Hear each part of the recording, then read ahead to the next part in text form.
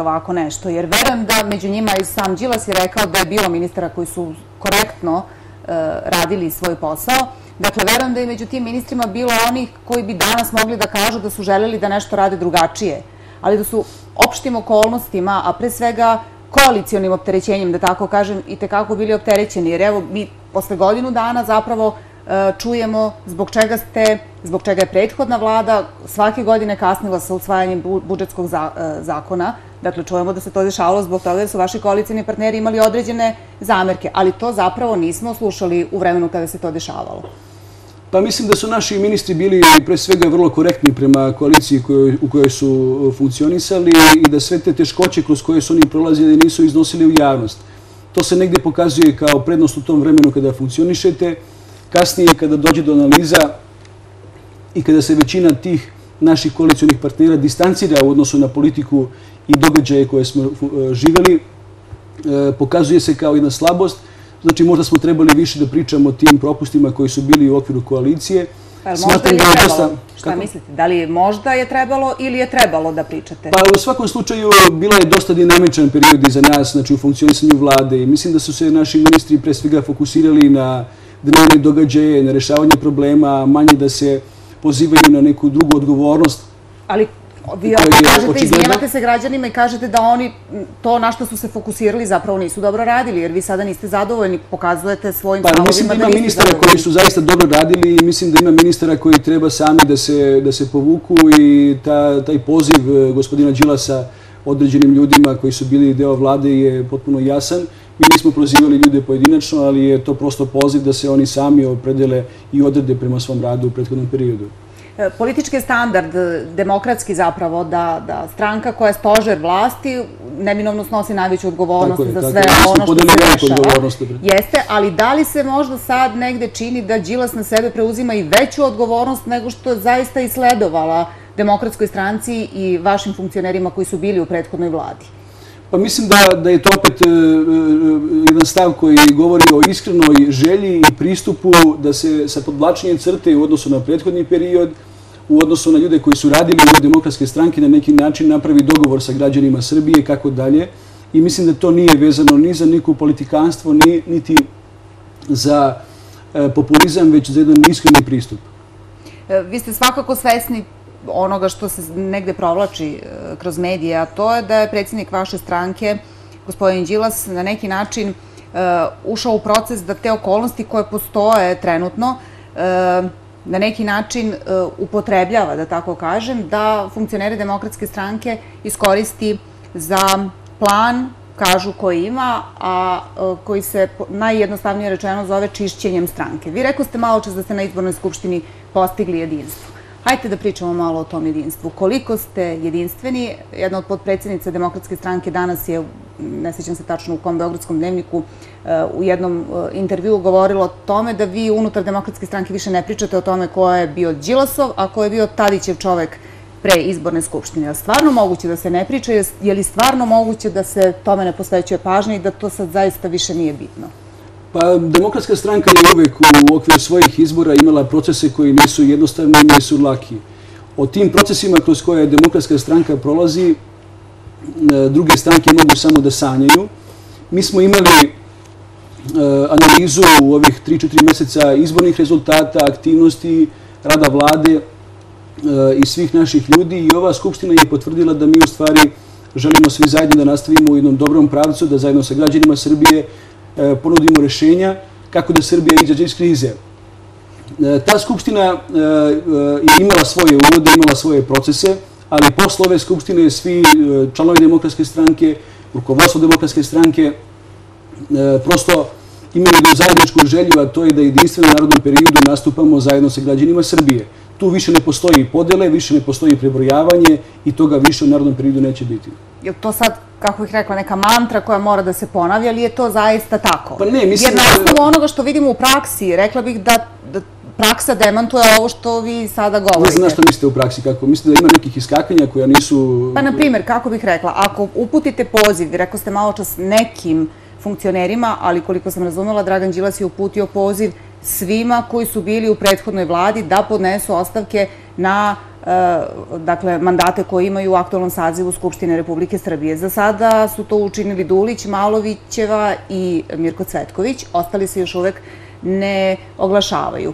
E, za koga su bitne e, ove ostavke? Da li više znače građanima, zato što bivšeg ministra ili bivšeg premijera neće gledati u skupštinskim klupama u toku plenuma, ili je to važno za vas kao stranku? Pa ja mislim da je važno pre svega i za građane i za stranku. Znači, mislim da je u narodnom periodu jako važno da vidimo ko od ljudi koji čine e, vrh demokratske stranke mogu da naprave određene iskorake i da doprinesu da demokratska stranka ponudi neka nova rešenja. E, mislim da je e, e to jedinstvo koje smo mi iskazali na Skupštini važna poruka i za članstvo, i za građane, i za sve naše političke e, protivnike i mislim da to jeste ključni korak kako da u narodnom periodu ponudimo najbolje rješenje za Srbiju.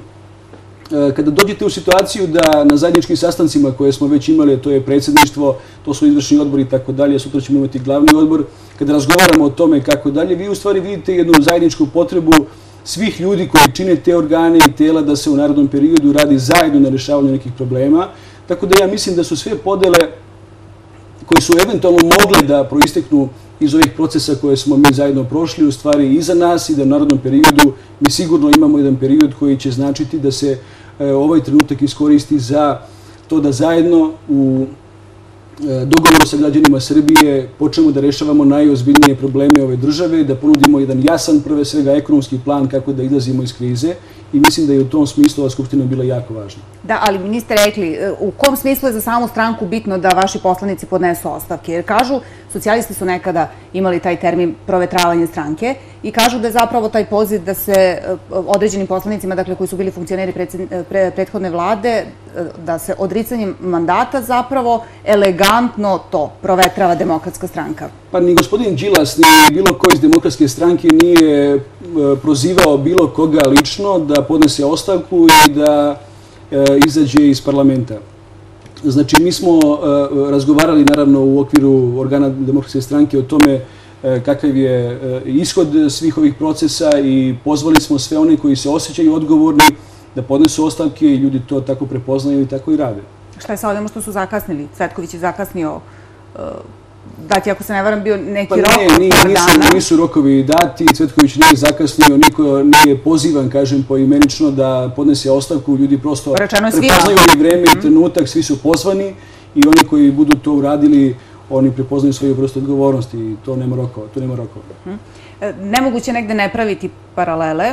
2004. E, godine, kada je Boris Tadić pobedio na izbornoj skupštini, u stranci više nije bilo Čedomiro Jovanović i Zorana Živkovića, koji su zapravo bili najbliži saradnici, barem zvanično, a oni koji su tada bili u demokratskoj stranci možda imaju informaciju više, e, Zorana Đinđića.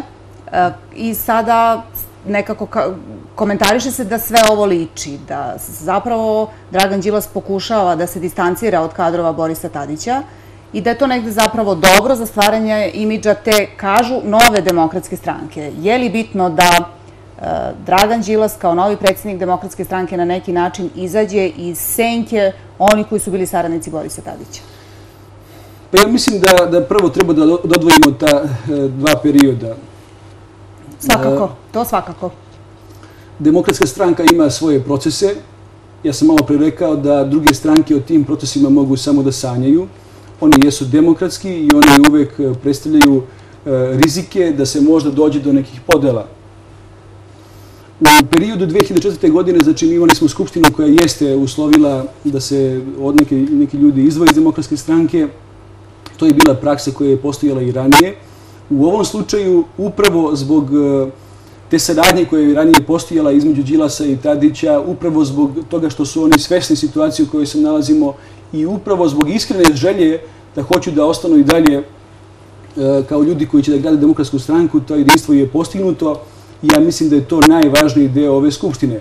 Znači, taj proces koji smo mi imali za sebe jeste bio bolan, on jeste na neki način e, bio obavezujući za sve nas da ukažemo na propuste, na probleme koji su bili vezani za funkcionisanje prethodne vlade, naših institucija i ljudi koji su predstavljali demokratsku stranku, ali od ove skupštine idemo svi zajedno jedinstveno. Znači, mislim da ne postoji nikakva potreba od distanciranjem za kadrovima E, koji je predložio ili Tadić ili Đilas, toga u demokratskoj stranci nema i mi smo na prvom predsjedništvu upravo koptirali nekoliko ljudi koji su bili predloženi da uđu ove timove, tako da mislim da tu nikakvih problema nema. Mhm.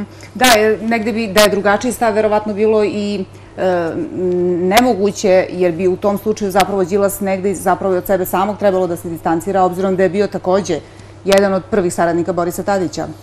Pa ja, direktor Narodne kancelarije, predsjednika Srbije, pa potom... Pa ja uvijek hoću da ukažem upravo na to. Znači, oni su bili saradnici i prijatelji više godina i decenija i upravo... I samo smo e, na početku te izborne kampanje zapravo vaše unutar stranačke posumnjali da zapravo više nisu prijatelji. Jer iako kažete da bi se sve ostale stranke zapravo podičile da imaju takav dinamičan i, i demokratski unutar stranački proces, ta kampanja je bila prilično ružna na početku. Pa dobro, e, dosta su i neki mediji i okolnosti doveli do toga da se stiče takav utisak, ali mislim da je suština svega da je ovde upravo zbog odgovornosti, upravo zbog toga što su svi ljudi koji su u demokratskoj stranci donosili odluke svesni i ozbiljnosti situacije u kojoj se nalazimo, doprinijeli do toga da, odnosno tome, da mi dođemo u tu poziciju, tu fazu da se kroz ovaj dogovor koji je napravljen, naprave iskoraci koji će doneti dobrobiti demokratskoj stranci u Srbiji. Mhm. E, rekao ste malo čas da svako od bivših funkcionera koji su sada i vlasnici mandata prepoznaju trenutak kada bi trebalo da odgovore na poziv e, gospodina Đilasa koji mi je uputio. Rekao smo već za sada do ovog časa tri vraćena mandata. E, Dulić i Malovićeva koptirani u predsjedništvu, je li tako? Pomozite mi, je li tako? Jeste ne ide baš sjajno, rekla bih, ne odgovaraju svi brzo na taj poziv e, gospodina Đilasa. Kad kažete to da pokušavaju da prepoznaju trenutak koji je adekvatan, na šta zapravo konkretno mislite? Jer negde se čini kao da su sve karte na stolu. Dakle, ja imam mandat, a predsjednik stranke koje pripada mi je rekao vrati mandat. Još jedno moram da kažem, znači, e, predsjednik Đilas u ovom slučaju nije davao rokove i nije lično prozivao bilo koga, niti je neko iz demokratske stranke bilo koga prozivao. E, lični čin i procena ljudi koji su e, bili deo vlade u prethodnom periodu jeste da li će oni prihvatiti taj poziv ili ne. Imate informaciju kako je počesni predsjednik demokratske stranke reagovao na ovaj poziv za vraćanje mandata? Pa ja mislim da se sve odluke u demokratskoj stranci u ovom trenutku donose jedinstveno, da su svi tu negde usaglašeni i svesni situaciju u kojoj se nalazimo i da je to dogovor između e, počasnog predsjednika, predsjednika i svih nas. Mhm. Samo gospodin Dragoljub Mićunović, rekla bih, negde ostao uskraćen za informaciju, jer je njegovo prvo oglašavanje u javnosti bilo da se zapravo poziv predsjednika vaše stranke, gospodina Đilasa, odnosi samo na Vuka Jeremića, pa je ostalo malo nedorečeno kako je moguće da predsjednik političkog savjeta zapravo nije znao na koga se zapravo poziv sve odnosi. U tom trenutku još uvijek nisu bili formirani organi demokratske stranke, nije bilo još e, sastanaka koji su bili u tom pravcu da se dogovaramo o svim tim odlukama, znači kampanja je bila u toku, izjave su bile možda van tih institucija, ali uglavnom u posljednje vreme to je sve usaglašeno. Mhm. Mandat pripada poslaniku, po zakonu, prosto je tako, pa na osnovu informacija kojima raspolažete, postoji li mogućnost da neko bude neposlušan, verujem da se to tako zove, odnosno da li postoji opasnost da se na neki način e, uruši jedinstvo vašeg poslaničkog kluba u smislu da neko ne želi da vrati mandat, pa će onda verovatno da bio samostani poslanik. Ja mislim da su te situacije potpuno e, izolovane, da toga neće biti, da ljudi koji čine demokratsku stranku i u poslaničkom klubu, da su svesni odgovornosti situacije u kojoj funkcionišemo i da toga neće biti. Objašnjenje za poziv za vraćanje mandata jeste da bi zadržavanje mandata u ovim okolnostima zapravo bilo protivno volji građana. Kako ćemo sad građanima koji su glasali 6. maja za demokratsku stranku objasniti, ako su se već izjasnili, verovatno su bili svesni da glasaju, na primjer, za Dragana Šutanovca, na primjer, a ne za nekog ko je 75. na listi? Pa mislim da, da su uh, ljudi koji su glasali za demokratsku stranku bili potpuno svesni liste kandidata koji su predstavljeni. Ta lista je bila unapred poznata i mislim da sa te strane ne postoje takvi rizici. Svi ljudi koji su bili na listi od 250 kandidata demokratske stranke uh, po svojoj uh, ličnosti, ulozi i funkciji zaslužuju da budu na toj listi, tako da mislim da to nije iznevjereno očekivanje građana. Uh U ovom trenutku nemamo preciznu informaciju o tome kakva je dalja politička sudbina oni koji eventualno vrate mandat, odnosno da li će također biti članovi najviših organa demokratske stranke kao što se to dogodilo sa Dulićem i sa Malovićevom. O tome ćemo odlučivati ovih dana, ali u svakom slučaju... Postoje se neki kriterijum na osnovu koga će neko možda po automatizmu biti kooptiran, a da se o nekome zapravo neće raspraviti. Ne, o svakom čoveku ćemo pojedinačno razgovarati. Svi ljudi koji su do sada činili taj deo tima demokratske stranke zaslužuju posebnu pažnju. O svakom čoveku ćemo voditi računa. Naša briga za ljude će biti upravo vezana i za brigu o našim članovima, tako da o svim ljudima ćemo posebno razgovarati. Jeste li imali utisak da je deo javnosti e, bio iznenađen kooptiranjem e, Malovićeve i Dulića u predsjedništvo?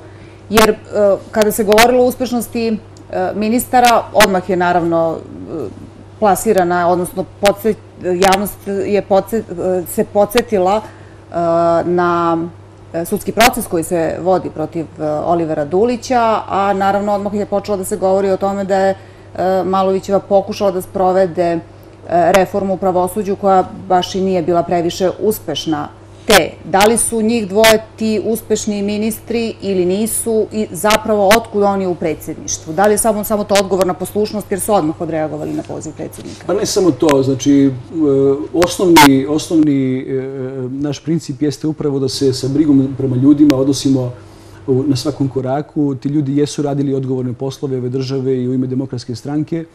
Pre svega, zahvaljujući Eh, veoma intenzivno i prljavoj medijskoj kampanji. Oni su došli u loše pozicije, ali naravno da ćemo mi pokušati da se naše ljude zaštitimo u meri u kojoj je to potrebno. Dok se ne dokaže bilo čija krivica, oni će biti znači, ljudi koji su uvaženi u demokratskoj stranci i oni će biti poštovani. Kad kažete loša medijska kampanja, mislite samo na dakle, Olivera Dulića. Ne, mislim na Olivera Dulića i mislim na mnoge članove demokratske stranke i funkcionere demokratske stranke koji su u posljednje vreme izloženi sudu medija i javnosti koja je naručena, koja je na neki način e, usmerena u tom pravcu da se uruši demokratska stranka. Mislite da su to jedini e, motivi za, za oglašavanje medija bili? Ne, ne mislim, ne mislim, ne mislim da su jedini, ali... neki dokaz da je zapravo nešto da je osnovano tih napisa? Mislim da je na sceni pokušaj da se demokratska stranka što više unizi, da se e, ljudi koji su učinili demokratsku stranku što više uprljaju, a samim tim i demokratska stranka. I mislim da oni jesu ljudi koji su na neki način e, bili prvi u tom procesu da, da budu izloženi takvim osudama. Dobro, mi, vi ja sad govorimo ovde o prezumciji nevinosti, a tako? Dakle, je li niko nije kriv dok se ne dokaže? Ali eh, mislite li zaista da mediji mogu više da uprljaju bilo koju stranku nego što to mogu da učine sami njeni članovi? Pa ne, ne mislim na sve medije i ne mislim da, da mogu samo mediji da uprljaju. Naravno da, da ove, su to procesi koji ne mogu lako da se kontrolišu. U ovom slučaju sam potpuno siguran da postoje mediji koji su u e, funkciji režima koji Ali uvek je tako bilo, zar ne? Ja ne, pa ne znam koliko se dugo bavite politikom, ali bilo je uvek takvih medija, znači 20. godina unazad, od kad je pluralizam, jel, zaživio u Srbiji? Ne mislim da je bilo na ovakav način, ne mislim da je bilo u ovakvoj meri, ne mislim da je bilo ovako ciljano da se upravo kroz ove procese unize i ljudi i demokratska stranka, odnosno politički protivnik. Poslednji zakon o javnom informisanju koji je donet, koliko se sećamo na inicijativu Mlađana Dinkića, je bio izazvan, eh, bar tako Dinkić kaže, upravo eh, onim čije što sad doživljavaju pojedini članovi demokratske stranke. On kaže da zapravo nije mogao da trpi to kako su se mediji prema njemu odnosili i kako su ga proglašavali, dakle, u štampi pre svega krivim za procese koji nisu ni započeti. Tako da bilo je takvih situacija. Da, ali, da, ali postoje... Ali ne za demokrate? Ali, pa ne, ne, mislim da, da, to nije, da to nije vezano da li je za demokrate ili ne, ali također postoje ljudi koji nikada neće iskoristiti svoje pravo da se sude sa medijima, da pokrenu neke procese i da se na takav način štite.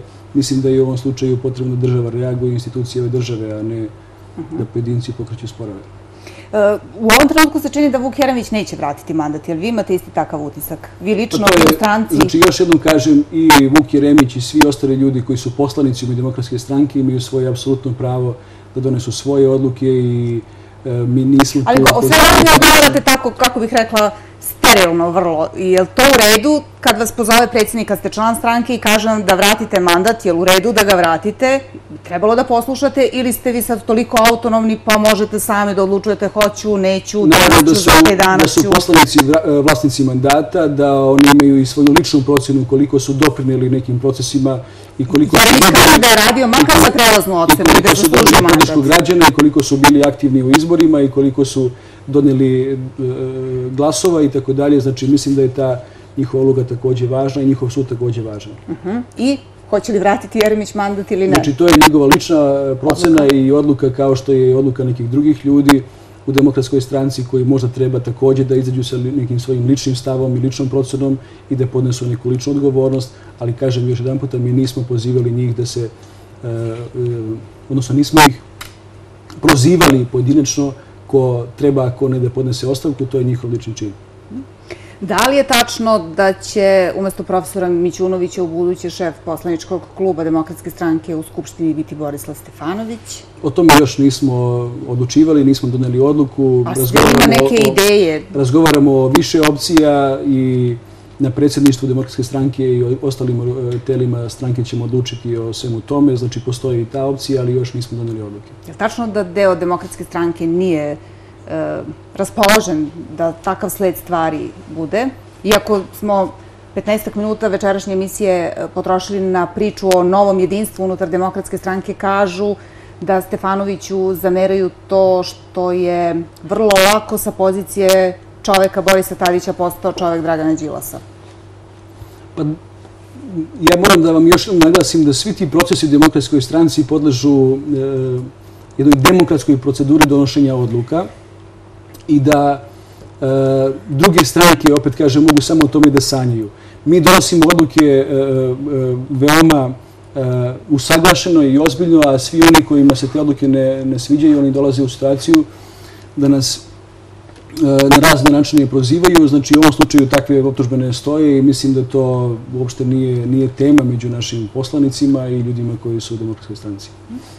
Recite mi, molim vas, da li postoji nešto što je Republička vlada za ovo vreme od kada je konstituisana uradila, a što biste vi mogli pozitivno da ocenite u bilo kojoj sferi? Pa mislim da je dominantna tema u posljednjih 3-4 mjeseca borba protiv korupcije, koja ima svoje ishode, koja ima i neke svoje manjkavosti ono što mi zameramo u toj borbi jeste upravo ta e, taj pokušaj da se unizi politički protivnici i što je ta pravda koja se, e, koja se plasira selektivna, što je usmjereno na ljude iz demokratske stranke i pokušaj da se u procesima koji su prilično e, medijski izrežirani unizi demokratska stranka. Ono što mislim da treba izdvojiti jeste to upravo ta borba protiv korupcije koja ima svoje neke efekte, ali ima i neke svoje manjkavosti. Mhm. E, zašto mislite da je zapravo to sve što se zbiva na području, kažu to zvanično za ovu sada sistemskom borbom protiv korupcije i kriminala, usmereno samo ka demokratskoj stranci? Vi zaista imate taj dubok utisak ili zaista, jer niste samo znači, demokrate tu? Ja to nisam rekao. Ako bi ozbiljnije i pažljivije analizirali ovih tri mjeseca ili četiri mjeseca rada vlade, vidjeli biste da je e, dosta tih populističkih poruka i dosta procesa koji su u stvari vrlo e, nedefinisani ili su ostali negdje nedefinisani. Najveća tema koja je ovdje otvorena jeste tema oko Agrobanke i to je proces koji je otvoren i u prethodnom e, sazivu vlade. Znači oni su došli u situaciju, znači nova vlada, da rešava taj predmet po e, nalozima i po e, istraživanju ili procesu koji je vodila prethodna vlada. Imamo nekoliko e, veoma pompeznih najava za velike afere kao što je preticanje predsjednika, odnosno kolone predsjednika Republike Hrvatske na autoputu, pa se sedam dana o tome priča, pa onda imamo nedelju dana također priče o nekom drugom preticanju, pa se ispostavi da je jedan puta to preticanje izvršio čovjek koji je zaposlen u policiji, drugi put se ispostavi da je čovjek žurio na slavu, a člani SNS-a pa se onda ispostavi da je gromoglasno najavljena afera politika i novosti, pa od te afere e, nema ništa. Pa onda imate aferu sa prituškivanjem. A što je bilo da nije ništa?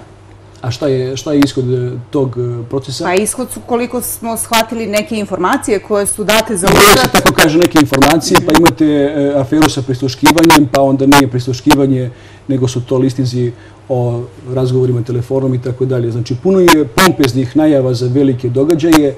Ishod tih procesa je bio prilično e, e, nezanimljiv, da tako to kažem, za građane Srbije, odnosno ishod je manje više nepoznat.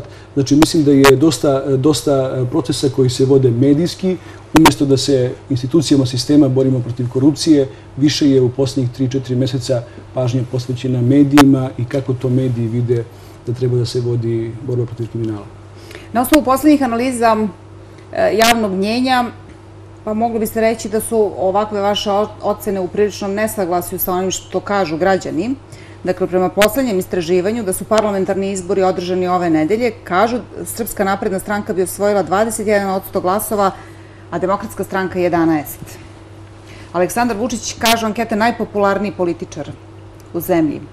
Zbog rezultata, vi ćete ih osporiti svakako, zbog atraktivnosti resora kojim se zapravo bavi možda, možda zapravo građani e, vole da očekuju i da veruju da će se zapravo neki veliki slučajevi rešiti. E, ali e, kako, da li zaista mislite da građani pogrešno percipiraju to što, to što čitaju u novinama? Kažete da se sve kroz novine, kroz medije zapravo dešava, odnosno većina tih procesa, pa da li zaista mislite da im je toliko pogrešna procena da veruju u to što je u medijima? Ne, ja to uopšte nisam rekao, čak mislim da građani upravo zbog te svoje želje i potrebe za pravdom, koja možda nije došla u prethodnom periodu na način i u meri koju su oni to preželjkivali, sada upravo podržavaju ovu borbu protiv kriminala i ono što ja hoću da naglasim, to je moj utisak, da je e, ova e, e aktivnost i gospodina Vučića i vlade u stvari e, dobro medijski prezentovana ljudima, a da je ishod, ako malo bolje i dublje analiziramo svih tih aktivnosti, prilično loš. Znači, mislim, ili nedovoljan u najmanju ruku. E, ako imate ozbiljnu analizu, vidjet ćete da je prethodna vlada u četiri godine svog mandata imala velike rezultate u borbi protiv organizovanog kriminala koji je po meni E, imao e, veliki uticaj na funkcionisanje institucije ove države i koji je predstavljao veliku opasnost ne samo za institucije, nego uopšte za funkcionisanje čitavog društva. Znači, ako bi to dobro analizirali, vidjeli biste da smo u prethodnom periodu, odnosno vlada koja je e, bila u periodu do 2012. godine, E, dala značajan doprinos u borbi protiv organizovanog kriminala, pre svega u borbi protiv ljudi koji se bavili e, e, e trgovinom narkoticima, trgovinom oružijem, ljudima i tako dalje, da je zapljeno preko 350 miliona evra njihove imovine, da su otvoreni procesi koji su bili za neki raniji period nezamislivi u Srbiji. I sa te strane mislim da je nedopustivo da ova vlada svojim nekim e, odlukama pusti preko 3000 ljudi na slobodu koji su ranije osuđeni na izdržavanje kazni i tako dalje mislim da je dopustivo da svi da tim svojim odlukama unižavaju i aktivnosti, trud, zalaganje, rizike koje su e, imali neki ljudi koji su e, se suprostavili organizovanom kriminalu u posljednjih nekoliko godina, ali to su neke odluke koje mislim da treba tek da dođu e, na sud javnosti. Ono što meni tu nedostaje jeste upravo taj odgovor društva i javnosti na tako rizične i loše odluke kojim se unižavaju ljudi koji su u nekom prethodnom periodu E, založili svoj život na kraju krajeva za ono što su radili.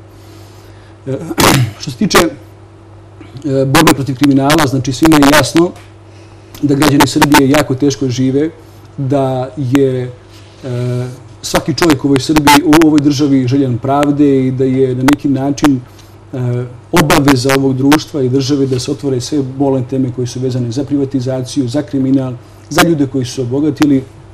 Sa te strane, Demokratska stranka će sigurno podržati i ova nastojanje da se u narodnom periodu kroz te procese osude svi oni koji su činili e, štetu građanima Srbije. Vi znate i sami da su građani negde skloni tome da tako paušalno donesu određeni zaključak i da kažu ma svi koji su učestvovali u vlasti, oni su sigurno nešto radili što nije legalno i što nije zakonito. E, trenutno činjenica je demokratska stranka trpi pa da kažem, najveću štetu zbog svega toga što se dešava, a dakle, sudski procesi će pokazati dakle, da li je to bilo osnovano ili ne. Demokratska stranka je e, podnela e, najveću žrtvu što se tiče rada prethodne vlade. Mi smo na izborima dobili zaista veliko poverenje građana, ali upravo zbog ove medijske kampanje i pokušaje da se preko naših ljudi koji su bili u izvršnoj vlasti u prethodnom periodu unize ne samo oni, nego i demokratska stranka su doprinili tome da se stvori taj utisak da su ljudi iz demokratske stranke radili loše, da su lopovi, kriminalci i tako dalje. Da su svi takvi. To je ono zbog čega... procesi će pokazati da li je takvih i bilo. Tako, to je ono zbog čega ja hoću da se upravo borim protiv ovog modela e, borbe protiv korupcije i hoću da kažem da je ogroman broj ljudi koji su radili u ime demokratske stranke i u ime građana Srbije u prethodnom periodu, radili svoj posao vrlo časno, odgovorno, da su pokušali da daju svoj maksimum. Ja sam, čini mi se, jedan od tih ljudi koji su na svojim poslovima eh, imali velike rezultate, koji su se ostvarili u svakom smislu, koji su napravili određene iskorake na poslovima kojima su se bavili i zbog toga hoću da otvoreno stanem u zaštitu mnogih ljudi koji su danas na tapetu, kojima se sudi kroz medije, a ne kroz institucije i čini mi se da je E, krajnje vrijeme da demokratska stranka e, izađe sa podacima o tome šta je ranije rađeno, da izađe sa jednim jasnim stavom i da osudi sve te pokušaje koji su vezani za jedno i unižavanje ljudi bez ikakvog osnova.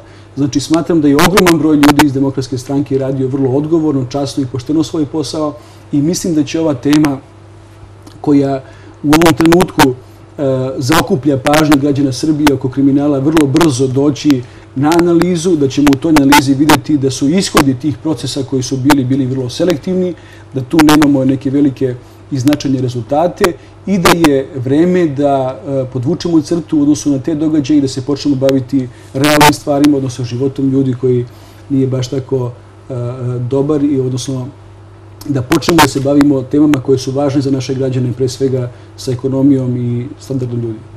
Očekujete li vi da će se borba protiv korupcije okrenuti kao strankama koje čine vladajuću koaliciju?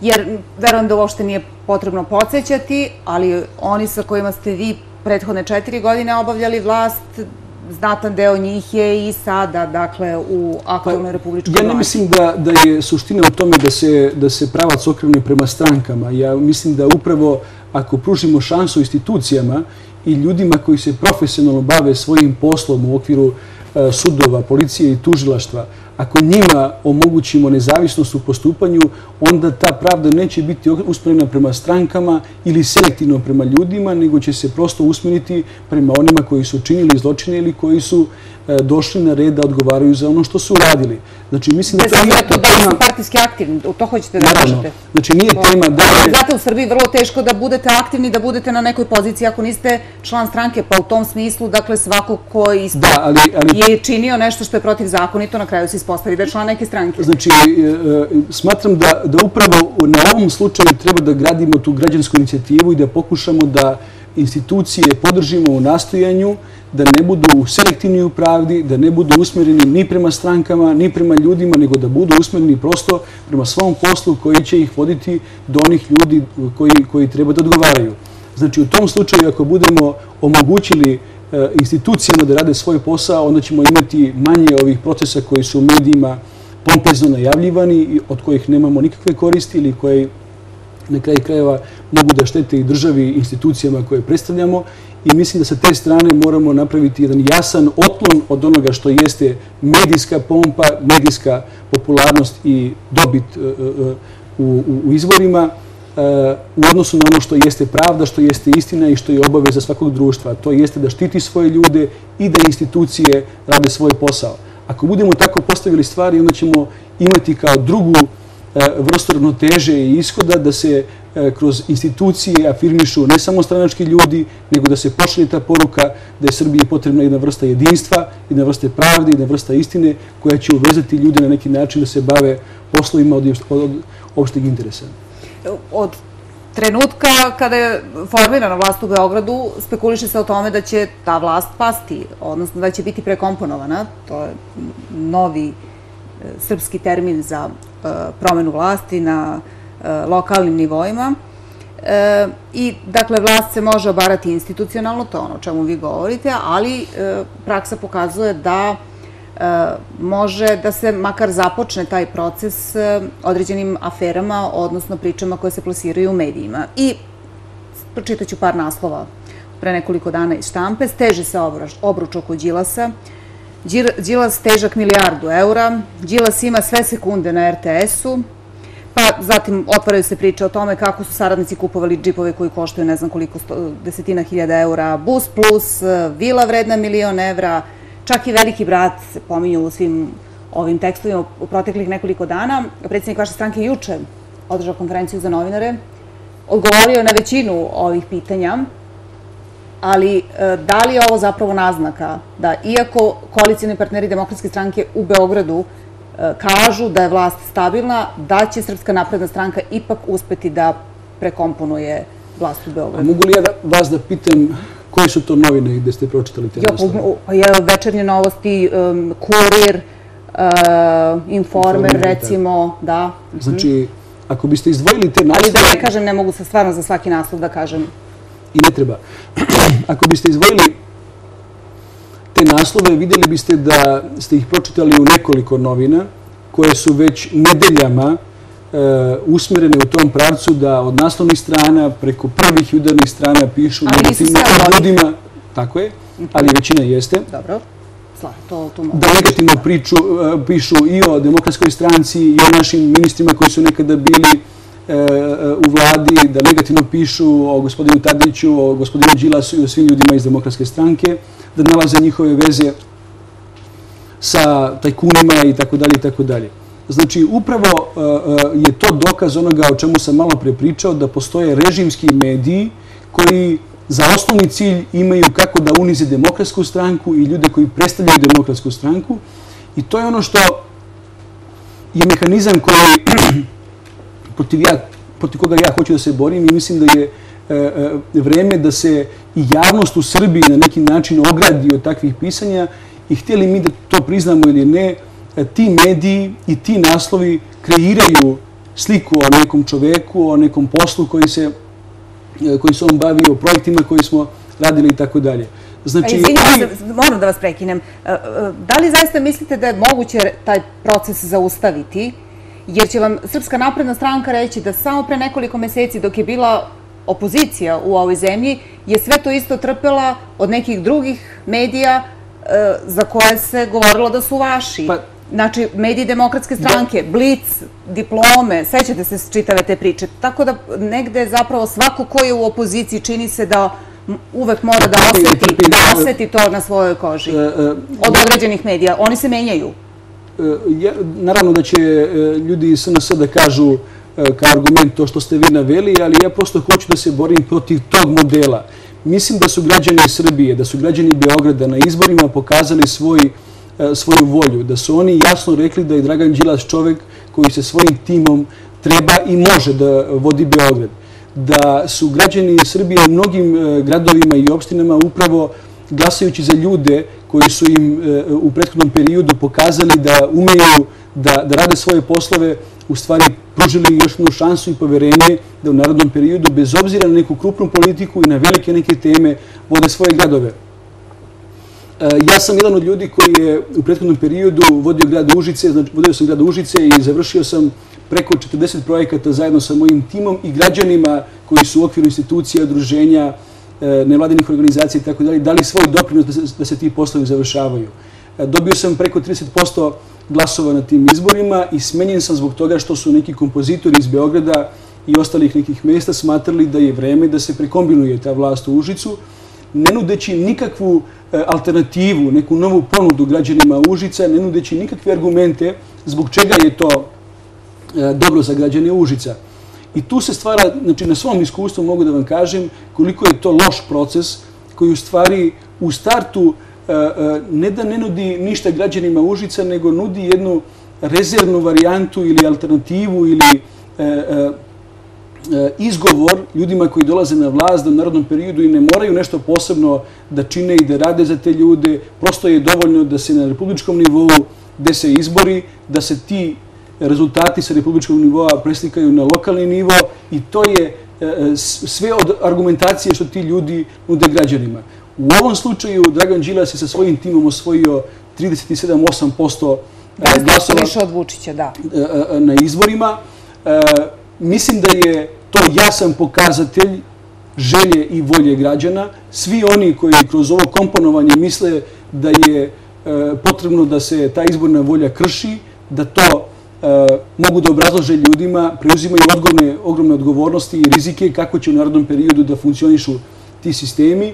Ono što posebno ovde hoćemo da ukažemo jeste upravo e, to što se tim procesima i odlukama u stvari unižava izborna volja građana, pa onda treba da razmislimo da li treba da ukinemo lokalne izbore ili ne. I sad znači- bi vam odmah naprednjaci rekli da li je Dragan Đilas pre četiri godine zapravo prekomponovao Vučića, dakle da je bio preteča svega ovoga što se danas dešava u Srbiji. Ali ja ne znam zbog čega uvek imate potrebu da kažete šta bi rekli e, naprednjaci. Znači ja mislim da njihov stav jeste... Zato što e, oni imaju tu intenciju da prekomponuju celu Srbiju i da lokalna vlast u svakoj opštini bude srodna republičkoj. Da mera naših odluka, naših vrednosti ne treba da bude stav naprednjaka ili stav nekih političkih stranaka, nego prosto negde moramo imati u vidu ono što je iznad toga. U ovom slučaju izborna volja građana i primjena zakona jeste iznad, potrebno je da bude iznad stavova stranaka. Nije isti, nije isti primjer pre četiri godine Beograd i sada posle ovih izbora, zbog toga što su izborni rezultati potpuno drugačiji. 2012. godine eh, Dragan Đilas je Vučića dobio za gotovo duplo više glasova, 2008. godine je bila razlika nešto manja, ali je također tada bio u prednosti. Znači, kalkulacija nije ista i ne može biti primjer isti.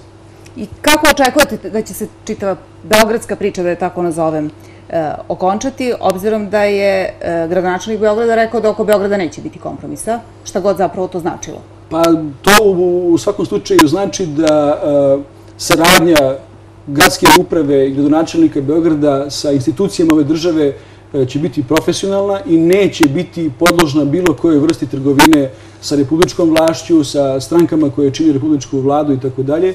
Znači, mislim da je tu stav vrlo jasan. E, Dragan Đila sa svojim timom ima snagi i kapaciteta da u datim okolnostima vodi grad Beograd i dalje kako treba, kvalitetno, odgovorno, profesionalno, da mu ponudi šansu za razvoj, da ponudi odgovornu socijalnu politiku i svi oni ljudi koji opet to kažem, sa svojim komponovanjem, bez i jednog jedinog argumenta, nude neke druge modele upravljanja, preuzimaju na sebe velike rizike i ja u ovom slučaju mislim da ti rizici nisu baš dobri za građane Beograda.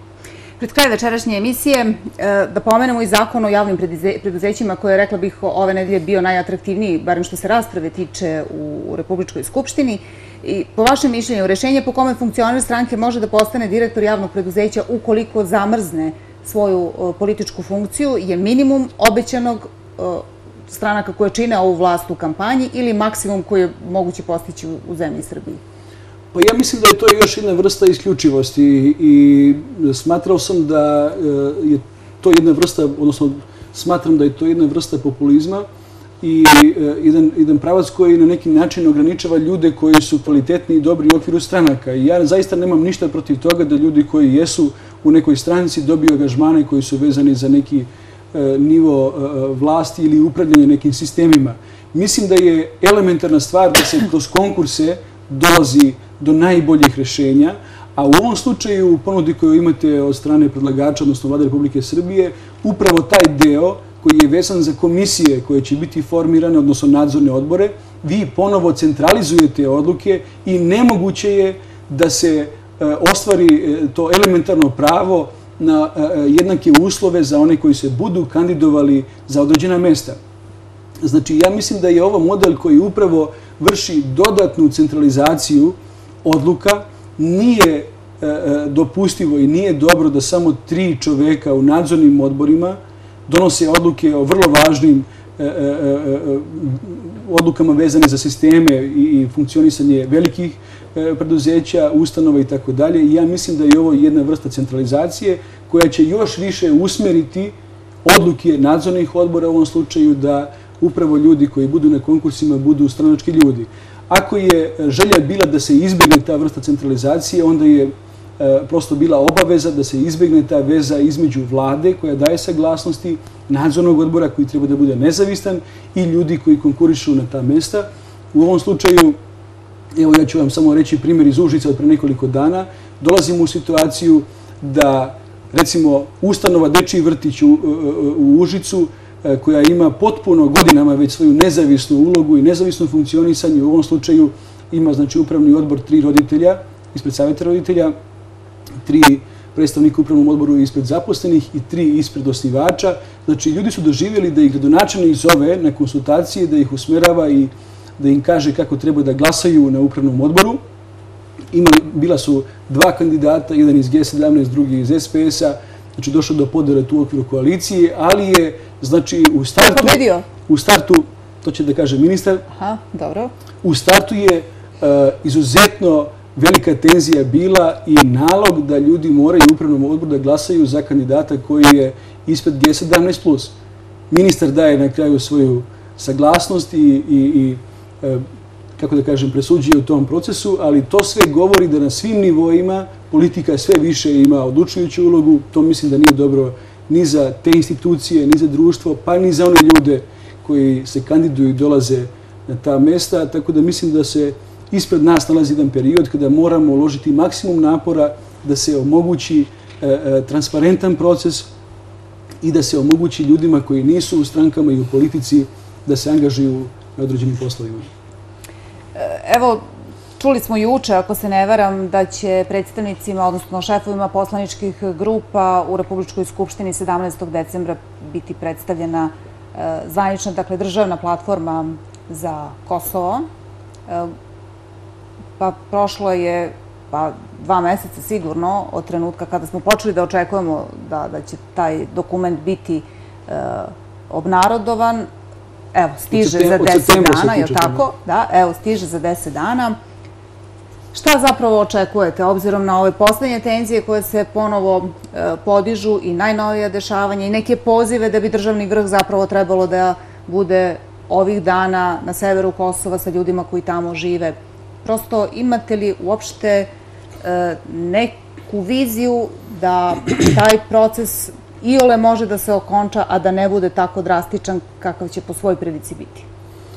Pa mislim da, da ova vlada i sve institucije ove države moraju uložiti maksimum napora da se u dogovoru i sa građanima e, koji žive, Srbima, znači koji žive na Kosovo i Metohiji, ali i sa građanima Srbije dođe do najboljih rješenja koja će biti usmjerena u tom pravcu da se odluke koje država bude donosila E, e, u podobe negdje sa potrebama ljudi i sa nacionalnim interesima.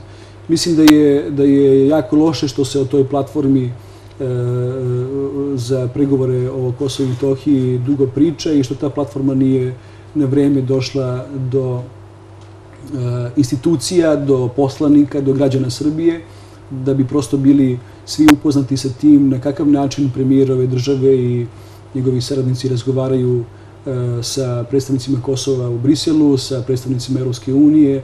Mislim da je e, nedopustivo da premijerove države bez saglasnosti vlade i saglasnosti parlamenta e, pokreće pokriće bilo kakve razgovore i nedopustivo je da ta platforma dolazi posle dva ili tri meseca vrlo intenzivnih razgovora i pojavljuje se kao jedna politika svršenog čina. Znači, mi posle ovih tri meseca razgovora prosto treba da dobijemo tu platformu koja će na neki način potvrditi ono što je već dogovoreno. Verujem da postoji još dosta e, odluka i da postoji jedan proces koji će biti e, težak i mukotrpan za ovu vladu koji se kroz tu platformu mora negde i potvrditi, ali u narodnom periodu očekujem zaista transparentniji odnos vlade Republike Srbije i premijera prema tom pitanju i prema građanima Srbije. Demokratska stranka je započela ove procese, znači oni jesu teški i bolni za ovu Srbiju, za, za ovo društvo i smatram da je e, naša elementarna obaveza da kao odgovorni ljudi i odgovorna stranka podržimo sve ono što je dobro u ovom procesu, da se u prvom e, e, e i osnovnom principu pre svega predstavi, odnosno postavi taj e, interes ljudi koji žive na tom prostoru kroz rad institucija, kroz podršku države Srbije za E, njihov opstanak i njihov ostanak e, što kvalitetniji na tom prostoru. I ja mislim da e, ti pritici koji postoje i koji nisu sigurno mali od međunarodne zajednice moraju da budu upravo usmjereni u tom pravcu da se kroz podršku tom procesu svih institucija koje su važne u ovoj državi da podrška ljudima koji pregovaraju u slučaju da je osnovni nacionalni interes vezan za opstanak ljudi koji žive na Kosovo i Metohiji i da je naš zajednički dogovor vezan upravo za njihove, za njihove interese. U ovom slučaju, kažem, prestoji dosta još otvornih pitanja koji su vezani za energetiku, za te, telekomunikacije, za institucije koje e, treba da i dalje funkcionišu na e, Kosovo i Metohiji. Mislim da e, je trenutak zaista e, sa puno izazova, ali da treba dati podršku za sva ona nastojanja i vlade Republike Srbije i pregovarača u ovom procesu koji su usmjerena na poboljšanje kvaliteta života ljudi koji žive na tom prostoru. Vaš petooktobarski partner G17 Plus najavio je odlazak u istoriju. Kažu da je ta stranka odigrala svoje i da je sada vreme za ujedinjene regione Srbije. Imate li bilo kakav komentar na tu novu transformaciju? Pa mislim da je to logičan sled događaja koji su vezani za G17 Plus, za njihovo E, nastojanje da objedine što više lokalnih stranaka, udruženja građana i lokalnih lidera po Srbiji u ovim izborima koji su iza nas. Mislim da su oni preuzeli veoma značajnu temu koja je važna i za e, čitavu Srbiju i ovo društvo, to je regionalizacija, decentralizacija i pokušaj da se sa ravnomjernim razvojem e, poboljšaju uslovi života svih građana Srbije. Tačno je da postoji dosta područja i dosta E, manjih opština i gradova koji zaista teško funkcionišu, koji se nisu snašli u ovim vremenima krize i tranzicije i mislim da je, da je taj pokušaj da se na neki način objedine interesi tih opština e, i politički i na svaki drugi način e, dobar. Ja sam sa strankom G17 imao dosta dobru saradnju, ali i dosta velikih sukoba pre godinu dana kada sam otvorio to pitanje oko E, finansiranje lokalnih uprava i primjene zakona o finansiranju lokalnih uprava, ali s druge strane mislim da je ovaj proces kroz koji oni prolaze logičan nastavak aktivnosti koji su vezani za njihov program. Mhm. E, predsjednik vaše stranke najavio je da je zapravo njegov cilj da demokratska stranka preuzme mesto vodeće političke snage u Srbiji. Rekao malo čas istraživanje javnog mnjenja, e, kakvi su rezultati po pitanju dakle, održavanja recimo nekih prevremenih parlamentarnih izbora ovih dana. Međutim, ta ista istraživanja pokazuju da je manje od trećine građana e, mišljenja da je Srbija krenula pravim putem od formiranja nove republičke vlade, da su najnezadovoljniji e, ljudi od 18. do 44. godine života, visoko obrazovani i građani Vojvodine, A aktualna državna politika e, prema ovim istraživanjima svoje uporište ima u stanovništvu koje je starije od 60 godina i koje mahom ima e, srednje obrazovanje. Je li ovde zapravo vaš fokus? E, jer izgubili ste, čini mi se, malo kontakt sa intelektualcima, sa tom intelektualnom elitom u poslednje vreme. Imali ste unutarstranačkih procesa koji su se odvijali u poslednjih šest meseci, par udara koje ste doživali na izborima kako ćete zapravo naterati pre svega svoje izvorno biračko telo da ne ode u abstinenciju, a potom i povratiti sve one koji su zapravo glasali za vas, a sada na posljednjim izborima su ili ostali kod kuće ili su glasali za neke druge? Pa, evo, u tom vašem pitanju je možda sadržan i ukupan e, kontekst ove emisije i pitanje i odgovori. E, ja još jedno moram da naglasim da je demokratska stranka na prethodnim izborima posle zaista teškog perioda u kome je e, funkcionisala od 2008. do 2012. godine u kojoj smo imali veliku ekonomsku krizu, velika iskušenja vezana za Kosovo, za saradnju u regionu, za razvoj naših institucija i tako dalje, da je znači, demokratska stranka na tim izborima ipak osvojila veliko poverenje građana i da je e, e, e, i na lokalnom, pa i na republičkom nivou na neki način e, poruka građana bila da, bilo je teško vreme, radili ste dobrih stvari, ali je bilo dosta grešaka i sada ljudi traže određenu vrstu promjena. Ti rezultati izbora su uslovili i ove procese kroz koje smo mi prošli u nekoliko prethodnih mjeseci, u 5-6 mjeseci koji su iza nas. Ti procesi su uslovili također da demokratska stranka kroz analizu ne samo izbornih rezultata, nego i uopšte funkcionisanje organizacije, stranke i komunikacije sa članstvom, dođi do e, određenih rješenja koja su upravo sada tema naših e, e daljih odluka, analiza i i I ono što je meni posebno važno jeste da upravo e, naše članstvo, naši birači u ovih nekoliko sljedećih mjeseci dobiju jasnu poruku o daljem pravcu rada demokratske stranke. To jedinstvo koje smo ostvarili na toj skupštini jeste preduslov da zajedno krenemo e, dalje, ali ono što mora dalje da se desi jeste i vrlo jasan plan koji je e, usmjeren i prema našim članovima i prema građanima Srbije o tome u kom mi pravcu vidimo kako se, ova, kako se ovo društvo dalje mora razvijeti, kako eh, nudimo rešenje za određene oblasti i probleme. I sa te strane eh, ja očekujem da ćemo mi u sljedećih dva do tri mjeseca izaći sa vrlo jasnim planom i predlozima kako dalje vidimo rešavanje pitanja i saradnje u regionu, i ekonomske politike, i socijalne politike, koje su to oblasti, odnosno koja su područja koja moraju dalje e, dobiti podršku za razvoj, preko kojih će i ovo društvo da se razvija. I ta poruka mora da bude u stvari jedna vrsta otklona e, u odnosu na ovu politiku, gde su građani, evo i kroz ovo istraživanje, vrlo jasno poslali poruku. Da, mi jesmo za tu vrstu pravde, za tu vrstu istine koja je nama potrebna, da bismo mogli da krenemo dalje, ali tema kriminal i korupcija je lepa za neko vreme. Pitka je za uši, lepa je za medije, dobra je tema preko koje možete da unizite vaše političke protivnike, ali je i građanima Srbije jasno da ta tema ne može da se maže na hleb, da, to tema, da ta tema nije e, centralno pitanje koje je vezano za kvalitet njihovih života i ne može da reši nagomilane probleme, pre svega e, u privredi, u ekonomiji, u poljoprivredi, znači u, u institucijama ove države. E, prema tome, mislim da je prostor ogroman u kome možemo da delujemo.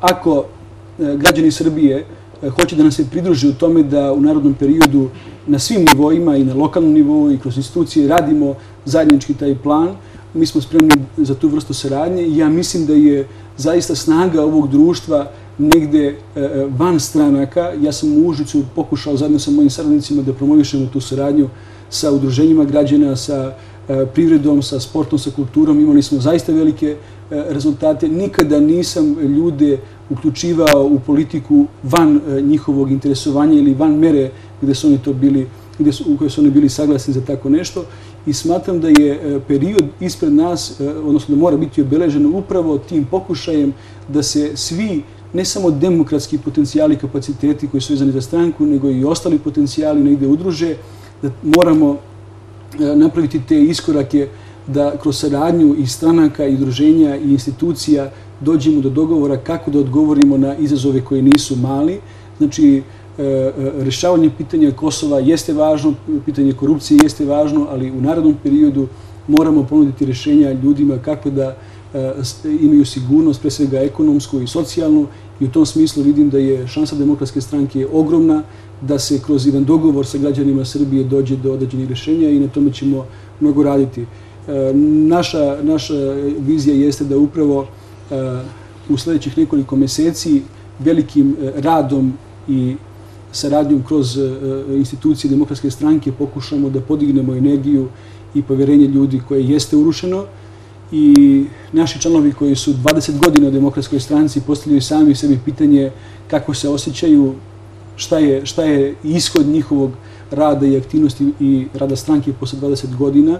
E, postoji e, elementarna obaveza da se dođe do tih ljudi da se kroz jedan proces e, dogovora sa njima ponovo podigne ta snaga, energija i nada e, ne samo u demokratsku stranku, nego i u, u, u čitavu Srbiju. I ja verujem da taj proces e, neće biti lako, znam da neće biti lako, ali također verujem da, da, da će da uspije. Posao, ozbiljan je posao ozbiljan pred posao. vama, pa morat ćete da radite prosto ništa vam drugo ne preostaje.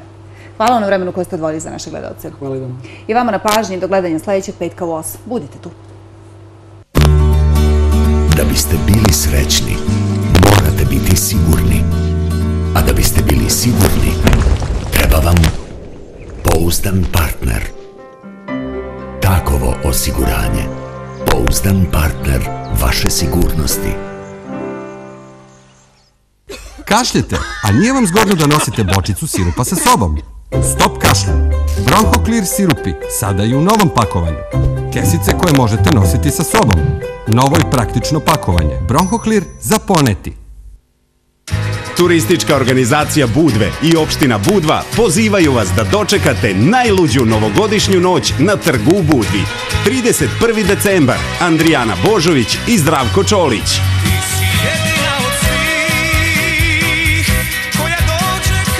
1. januar, Perper i Parni Valjak.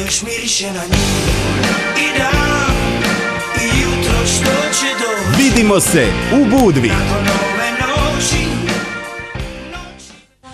Velika nagradna igra. Kragujevac Plaza Novogodišnje čarolije. Od 1. do 30. decembra obavite svu svoju novogodišnju kupovinu u shopping centru Kragujevac Plaza i osvojite Fiat Punto Classic. Uživajte u kupovini, uživajte u praznicima.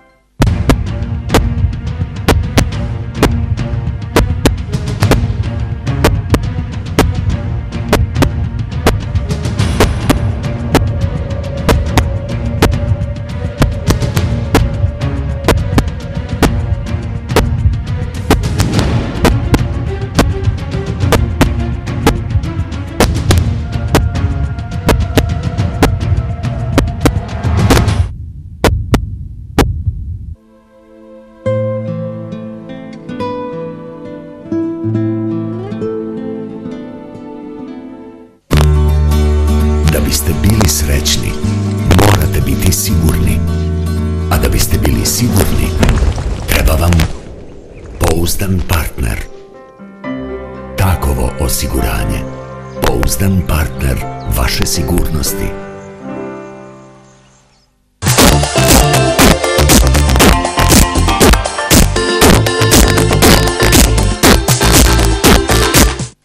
Kompanija Balkan, vaš dugogodišnji renomirani partner u poslovima uvoza, prodaje, transporta, registracije i osiguranja vozila, vam predstavlja i BEX kurirsku službu.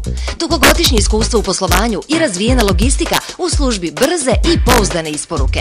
Kurirska služba BEX. Jednostavna i ekonomična rešenja za sve vaše pošiljke. Kurirska služba BEX. 0800 3555 000 066 3555 000 011 6555 000 bex.rs Kurirska služba BEX. Moško-ženski frizerski studio Zoe na novoj lokaciji. Karadžorđeva ulica 47 sve vrste šišanja, trajno ispadanje kose, trajno uvijanje kose, dekolarizacija, šatiranje i nijansiranje, nadogradnje, brazilsko feniranje. Frizerski studio Zoji.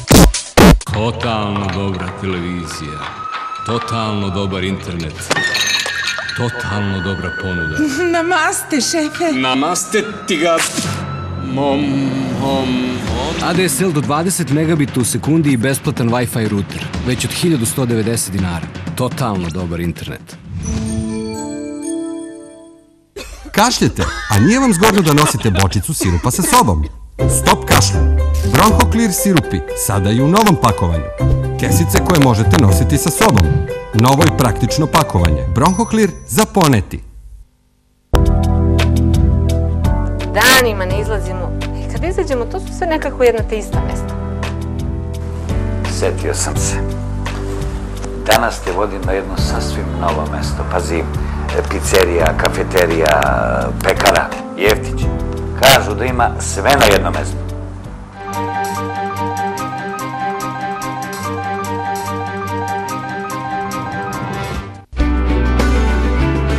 Ovdje imaju baš sve.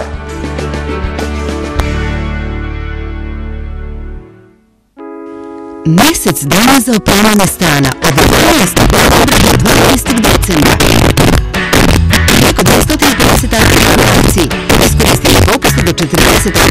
180 dana odloženo plaćanje bez kamata. Ispunjeno izdvajeno. Reklamiranje. Sljedeća soba Optima. Kako je lako živjeti lepo.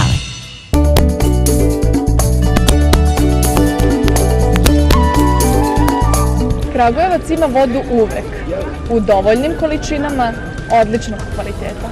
Da bi je imali i u buduće, da bi je imali svi. Plaćajte redovno račun za vodu.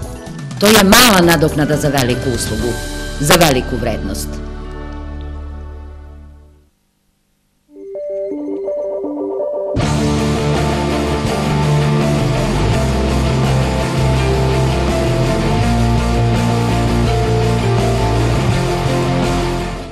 Osetite novi Peugeot 208.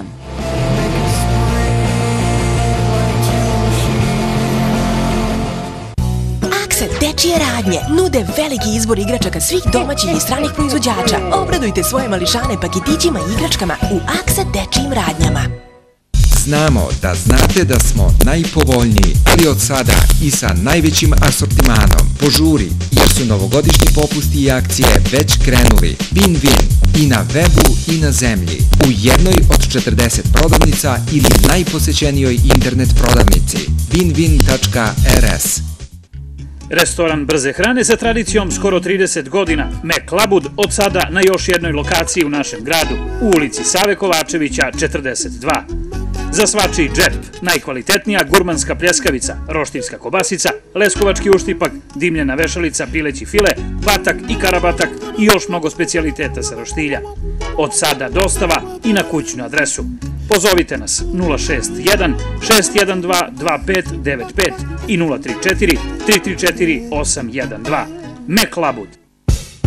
Već 20 godina dajete nam poverenje u građevinskim i keramičarskim radovima, zidanju fasada i molerskim uslugama. Kvalitetom se trudimo da opravdamo vaše zahtjeve. SZR Bojana 063 80 49 623 dozvolite da vas drugi farbaju.